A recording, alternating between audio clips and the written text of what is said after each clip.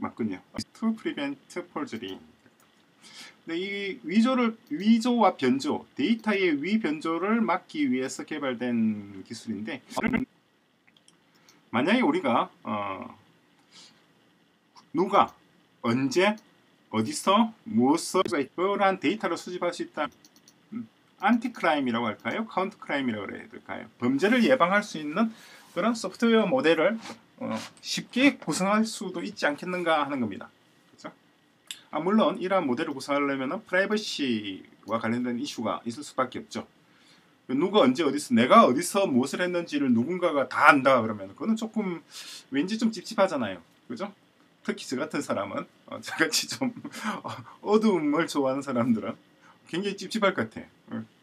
그래서 어떤 프라이버시 문제를 에, 건드리지 않고도 그런 데이터를 수집할 수 있는 방법은 없을까 하는 거예요.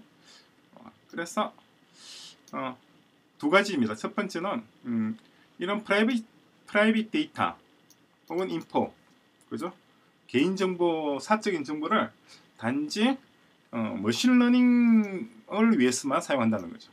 그러니까 사람이 볼 수 있는 게 아니라 그러한 데이터를 볼 수 있는 것은 오직 머신만 볼 수 있는 거죠. 다른 말로 하면은 only machines machines read 뭐 혹은 C got private private data 요것도 요것도 한 가지 방식이죠. 그죠? 사람이 보지 않는다. 기계만 본다. 기계만 본다라고 하면 조금 뭔가 좀 괜찮을 것 같은 느낌도 살짝은 들어요. 어, 사람이 아니라 기계니까. 그래도 좀 찝찝할 수는 있긴 있겠어요. 어쨌거나 어, 어쨌거나 결과는 이 time time이라고 하는 것이 시간이 가장 key element key core element라고 해야 되나요? core input이라고 해야 될까요? input 그리고 이 우리가 구성하려 하는 machine learning 모듈 ML 모듈의 핵심 input이 되는 것이 time이라는 거죠. 어떻게 해서 그렇게 되느냐 하는 건데 그거는 어, 어쩌면 어떤 개인의 프라이버시를 훼손하지 않고도 어떤 사람에 대해서 굉장히 오랜 시간 동안 데이터를 수집한다면 그죠? 그러면 어쩌면 우리는 상당히 반범죄적인 counter crime한 모델을 구성할 수가 있단 말이죠. 말 그대로 time series analysis를 한번 어, 적용하는 거예요. 그러니까 combine 해야 되겠죠. combine 음, time series analysis and ML machine learning. machine learning이라고 하는 것 자체가 원래 어, 떤 과거의 데이터를 통해서 과거 속에 있는 어떤 패턴을 분석하는 거예요. 패턴을 뽑아내는 방법입니다. machine learning은 한마디로 말하면 패턴을 뽑는 거예요. 어, 가장 적절한 패턴. 내가 이렇게 했을 때 저렇게 저런 결과가 나온다. 그죠? 이렇게 하면 저런 결과가 나오고 이렇게 하면 이런 결과가 나온다. 이게 machine learning인데 이것을 장시간에 걸쳐서 한번 구성하면 어떨까 하는 겁니다. 그러니까 우리가 어떤 사람이나 어떤 사람의 질병 이력을 통해서 그 사람이 앞으로 어떤 질병이 발생할 수 있는지를 미리 예견할 수가 있습니다. 상당한 정확성을 가지고. 그죠? 그 개인의 질병 이력과 그 사람이 속한 가족, 가족력이라고 그래요. 가족력과 각 개인의 질병 이력을 통해서 그 사람이 향후에 어떤 질병을 발현하게 될 것인지 유추할 수 있는데 그와 동일한 방식으로 어, 범죄 역시도 우리가 예측할 수가 있다는 거죠. 어떻게 예측하느냐니까 그 사람의 삶의 흔적, 그 삶의 흔적이라고 하는 것은 태어나서부터 지금까지의 모든 흔적을 말하는 거고 그리고 그 사람의 가족력, 그죠? 그 사람이 속하는 가족 내에서 범죄자들의 얼마나 많이 있었는지, 그죠? 어떤 범죄가 있었는지 이런 걸 통해서 상당히 아 물론 뭐 질병과 마찬가지로 음, 우리 가족 중에 누군가가 무슨 뇌출혈로 사망했다 해서 나도 그럴 것이다 라는 건 아니죠. 그죠? 하지만 그럴 가능성이 그렇지 않은 가족들에 비해서 높다는 건 사실이란 말이죠. 그러니까 이게 지금 precog의 precog가 뭐예요 이게 이게 저 영화 그죠? 그 이런 마이너리티 리포트에 나오는 미래를 예지하는 미래에 발생할 범죄를 예지하는 그러한 어떤 신비한 능력을 가진 어떤 개체들인데 이러한 신비한 능력을 굳이 어, 이용하지 않고서도 충분히 우리가 신뢰할 만한 어떤 범죄에 대한 정보를 추출할 수가 있다는 거죠. 그리고 만약에 범죄를 저지른 사람들, 범죄의 징후가 농후한 사람들, 과거에 범죄 이력이 많은 사람들은 어떻게 하느냐는 거죠.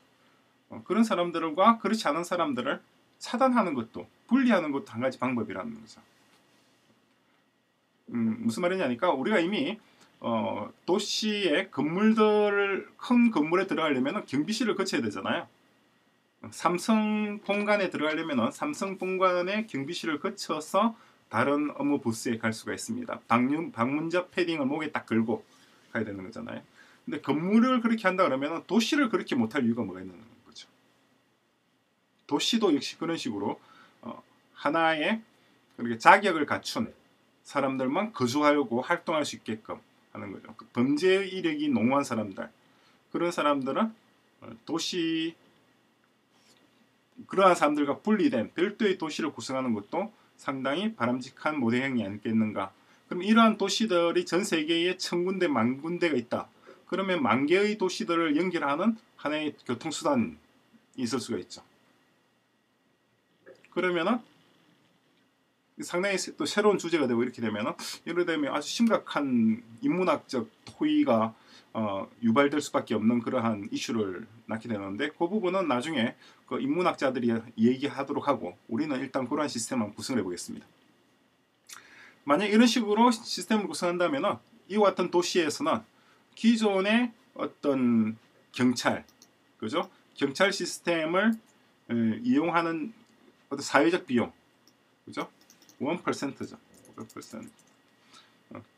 어. 기존의 경찰 시스템을 운영하는 데 드는 비용의 1% 미만으로도 충분히 그와 같은 이러한 도시, 그죠? 이 도시의 치안 비용, 치안 비용은 그렇지 않은 우리 일반적인 도시, 서울이나 광주나 부산이나 대전 같은 도시에서 치안을 위해서 지출해야 되는 사회적 비용의 1% 미만으로도 충분히 가능하다는 거죠.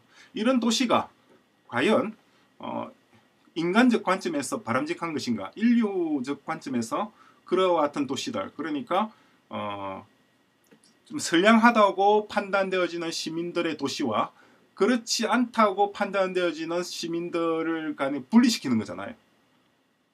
그러니까 마치 왕자의 게임할 때 그 장벽을 쌓고 야인과 그리고 성 안의 사람들을 분리하듯이 칠왕국 칠왕국의 사람들과 야인들을 분리하잖아요. 근데 야인들은 아주 나쁜 괴수들 같은 그런 형태가 되는데 이와 같은 모형이 바람직한가 사회적 사회학적으로 어, 그러면은 상당히 어, 심각한 이슈이고 근데 그러한 문제는 어, 일단 인문학 하시는 분들도 뭔가 해야 될 거 아니에요. 그분들 보고 답을 내라고 냅두고 우리가 이걸 답낼 필요는 없어요. 이게 바람직한지 어떤지. 우리는 개발자들이니까 단지 우리는 개발자적 관점에서 이러한 시스템을 구성해 보면 되는 거예요. 그게 우리가 지금 코딩하려고 하는 겁니다. 그래서 어, 기존의 police officer들을 다 제거를 하는 거예요. 마이너스 하는 거예요. 마이너스하고 그 자리에다가 센서를 채워보자는 겁니다. 센서들 보이죠? 여기 있는 센서들. 어, CCTV도 있고 사운드도 있고 특히 CCTV가 많죠. 사운드 센서도 있고 온도 센서, 기압 센서, 별의별 센서들로 도시를 도배하는 겁니다. 도배를 해서 그러한 센서들로부터 추출되어진 정보로서 해당 지역의 치안 시스템을 유지하고 운영하는 겁니다. 그 모형입니다. 이러한 모형들 그러니까 어, 이 도시 내에는 경찰이 있는 것이 아니라 센서들이 모든 곳을 감시하고 그죠? 그 감시하는데 그 감시된 데이터를 사람이 보는 것이 아니라 머신이 보는 거죠. 그러니까 여러분들 이게 무슨 말인지 조금 이해가 안 되실 수가 있는데 어, 지금의 machine learning 기술로도 CCTV를 통해서 범죄자를 그 수배 중인 범죄자를 군중에서 뽑아내는 기술이라든가 혹은 교통사고 현장을 파악을 하고 즉시 119 구조대를 보낸다거나 하는 것들을 이미 machine learning으로 충분히 가능합니다. 어렵지 않아요. 그거는 기술적으로도 그렇게 어렵지 않아요. 이미 강의도 다 올라가 있습니다. 그런 시스템을 구성하는 방식에 대해서. 어, 그런데 어쨌거나 이러한 CCTV와 머신을 통해서 치안이 유지되는 도시입니다. 그러한 도시를 우리가 코딩할 겁니다. 사람이 하던 일을 이제 센스와 센서와 여기 있는 두뇌 보이죠? 이 두뇌가 머신이란 말이죠. 사람의 두뇌가 아니라 어, 우리가 만든 Artificial Neural Network ANN이라고 부릅니다. ANN으로부터 ANN으로 어, 각 도시 내에서 발생하는 모든 종류의 범죄를 파악을 하는 거예요. 감지하는 거고 그리고 범죄자들은 도시 밖으로 추방하거나 그렇게 해야 되겠죠. 그래서 이러한 모형은 뭐냐니까 이러한 모형의 기재에 깔려 있는 사상은 이 범죄라고 하는 것은 사회의 질병이라는 겁니다. 사람을 사람도 질병이 있으면 치유하듯이 사회도 질병이 있으면 치유를 하는 거고 모든 질병 치유의 제1원칙은 배제입니다. 그러니까 내가 팔에 종양이 생겼다. 그럼 그 종양을 도려내는 것이 가장 도려내거나 아니면 약물을 통해서 종양을 구성하는 악성 세포들, 바이러스나 뭐 세균들을 죽여버리는 거죠. 제거하는 겁니다. 다 제거예요. 제거가 범죄에 대한 가장 어, 바람직한 모형 처, 처치 방법이다라는 가정하에 어, 이러한 시스템을 구성할 겁니다. 질병을 어, 범죄를 사회가 겪는 질병이라고 간주하는 거고 그리고 범죄를 예방하거나 범죄에 대응하는 것은 사회로 사회가 질병을 치유하는 의료적 관점, 그죠? 의료 의료적 처, 뭐라고 해야 되나요? 처치 과정과 동일하다라고 가정 간주하고 어, 코딩을 진행할 겁니다. 그래서 우리의 정부가 우리가 뽑은 정부가 우리 사회의 범죄를 컨트롤하도록 하고 그리고 우리 우리는 시민들이죠. 시민들은 바로 그 정부를 컨트롤하는 거죠. 이런 형식의 모형으로 한번 구성해 보겠습니다. 이어서 우리가 작성할 프로그램의 을개를 간략하게 한번 살펴보겠습니다.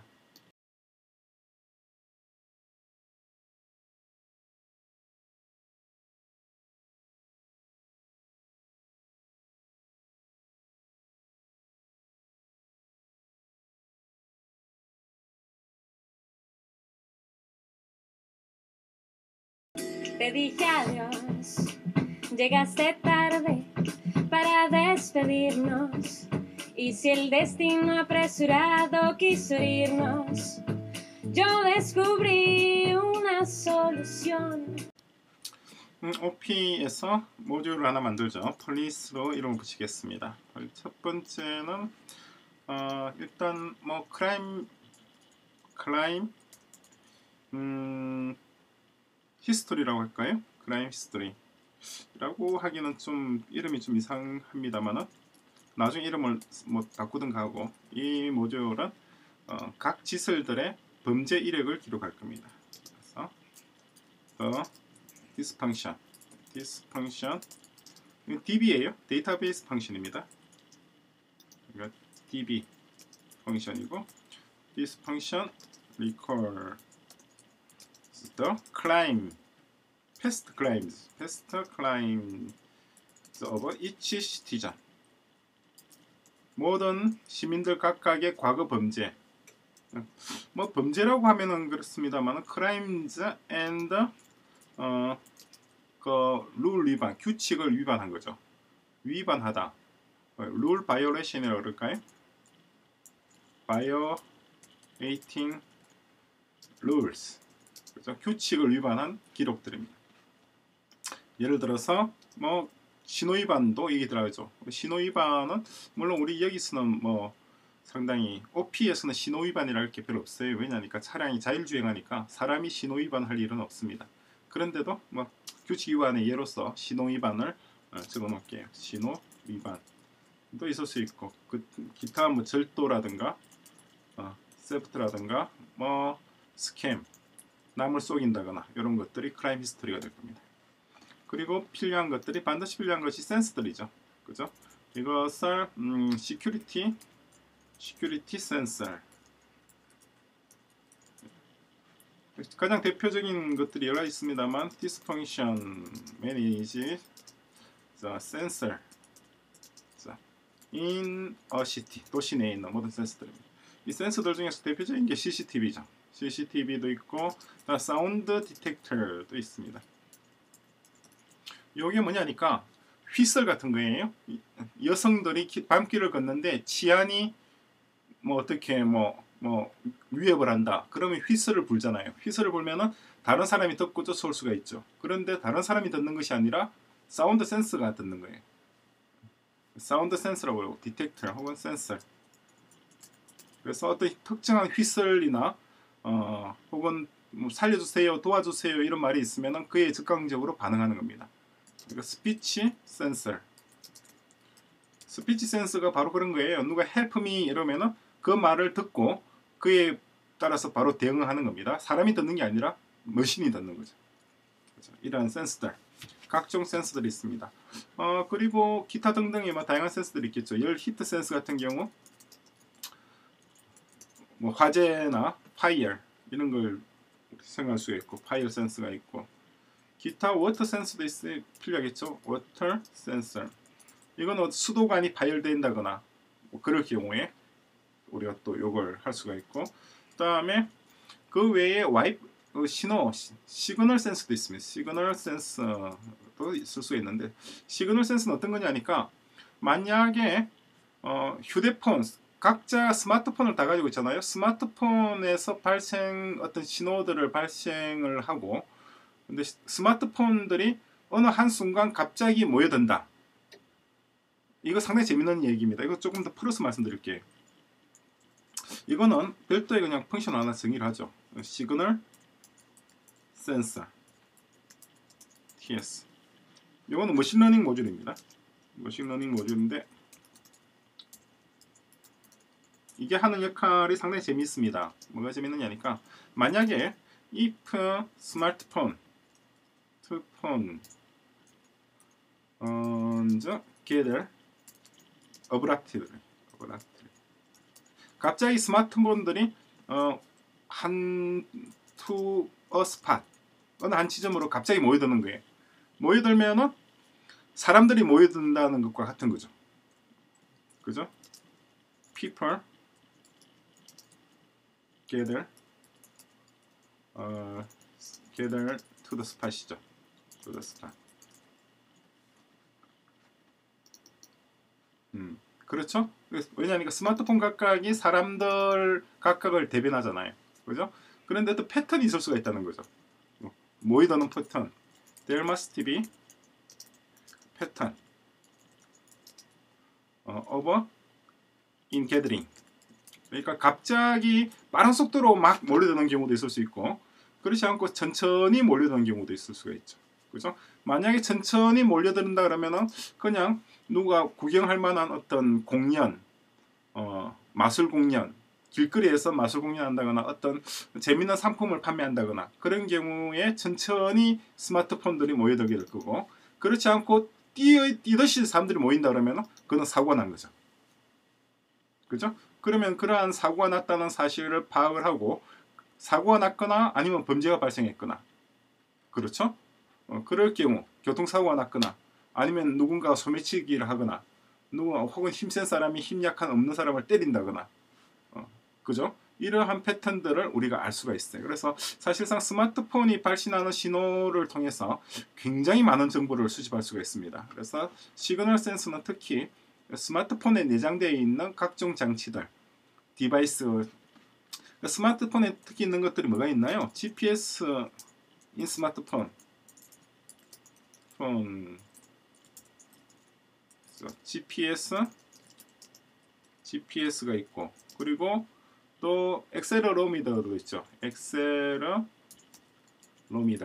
스펠링 맞는지 모르겠습니다. 그리고 나침판 compass도 있고 그죠? 그리고 어, 뭐 기타 등등 굉장히 여러 가지 장치가 있어요. 이러한 장치들이 발산하는 signal을 통해서 스마트폰의 움직임을 catching할 수가 있습니다. 그래서 ML 모듈입니다. machine learning 모듈 can catch, can gather uh, various data from the motion of uh, several smartphones. 예를 들어서 스마트폰 세 개가 시속 70km로 이동하고 있다가 갑자기 다 멈췄단 말이에요. 어느 한 순간 멈췄단 말이죠. 그런 경우는 어떤 경우인가요? 차를 타고 가던 세 명의 사람들이 차를 세우고 내리는 거죠. 그럴 경우 세 명이 세 대의 스마트폰이 계속 쭉 옮겨가다가 갑자기 멈추게 되는 경우인데 그 차에서 내릴 때의 패턴하고 교통사고가 났을 때의 패턴하고가 다릅니다. 그게 스마트폰에서 발산하는 이 신호들 GPS, accelerometer, 어, 컴파스 그리고 또 하나 더 있는데 그 뭐가 있는지 모르겠는데 그거 뭐예요? 방향. 방향 compass가 동서남북을 알려주고 동서남북 외에도 어, 여러 가지를 알려주는 그러한 장치들 그죠? 그런 장치들로 통해서 데이터를 통해서 이게 사고가 나서 사람들이 멈춘 건지 아니면은 내리기 위해서 멈춘 건지를 패턴을 바로 골라낼 수가 있어요. 그죠? 이러한 패턴을 통해서 어, 시그널 센서가 동작을 하게 됩니다. machine learning 모듈이고 이거 상당히 재밌습니다. 이거 나중에 코딩할 때 여러분 굉장히 재밌을 거예요.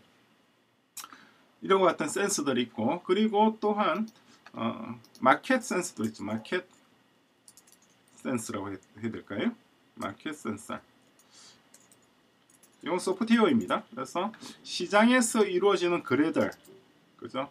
어, We can collect significant data. data from market transaction data. transaction.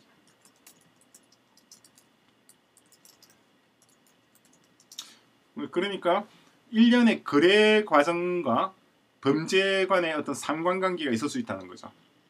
이것도 역시 machine learning 모듈입니다. 이것도 machine learning 모듈이고 뭐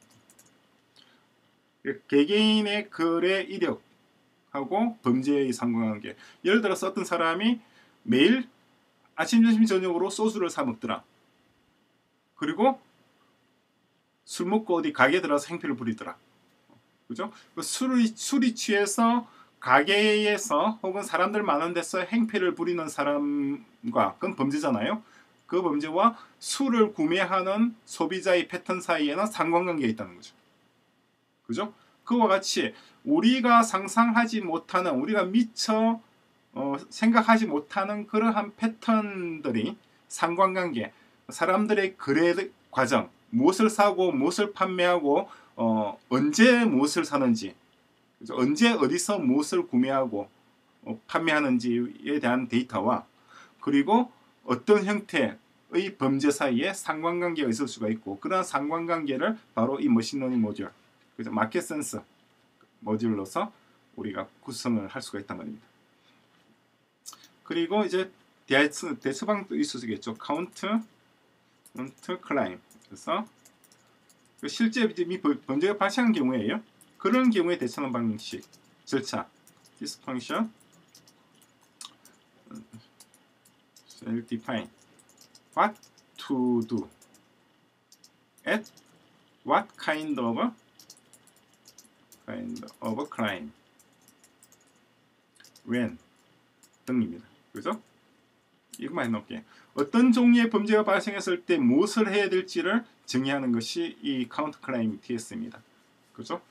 그러니까 어떤 소매치기와 같은 범죄가 발생했을 때에 대처하는 것, 가족들 간의 폭행 사건, 뭐 부부 간의 싸움이 있었다고 할 때 대처하는 procedure, 그죠? 그리고 어떤 뭐 집단 폭행 사건이 있다고 할 때 대처하는 procedure, 이 procedure들이 다 counter crime에서 이게 정의가 될 겁니다. 굉장히 여러 개를 우리가 구성할 거예요. 그래서 각각의 범죄 유형에 따라서 어, 자동적으로 절차가 해당 절차가 진행될 수 있도록 구성을 할 겁니다. 그래서 이, 이 방식 이거는 강제하는 거예요. forces predefined to each crime, each kind of crime. 각 범죄 종류에 따라서 그에 대응하는 사전에 정의된 절차를 강제적으로 집행합니다. 그것이 counter crime. 그러니까 이런 function을 통해서 어, 범죄가 발생했는데 경찰이 늦게 도착했다거나 어, 경찰이 도착하고 난 뒤에 적, 뭐, 적절한 조치를 취하지 않았다거나 그런 문제가 없어지게 되죠. 왜냐하니까 다 강제하는 거예요. 어, 범죄가 발생하게 되면 1분 이내 혹은 2분 이내에 현장에 도착할 수 있도록 강제합니다. 그 강제하는 방법이 간단합니다. 예를 들어서 if there is a, 어, 뭐 어떤 뭐 어떤 폭행, violence라고 해야 되나요? violence crime. 그리고 미리 지정된 police가 되죠. shall arrive at the spot. 그죠? in 5 minutes 이렇게 구성되어 있다. minutes. 그죠?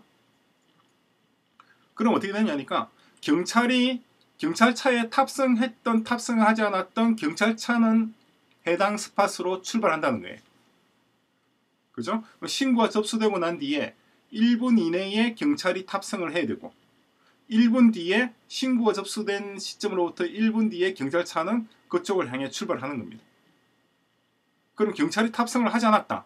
그러면 그 견적 사고가 되는 거죠. 어떤 의미가 이해가 되나요? 그럼 경찰이 탑승하지 않은 상태에서 경찰차가 출발하고 있다. 그러면 그 다음 단계는 무엇을 어떻게 할 것인지 빈 차잖아요. 빈 차 가서 뭐 하겠어요? 아무것도 할 게 없죠.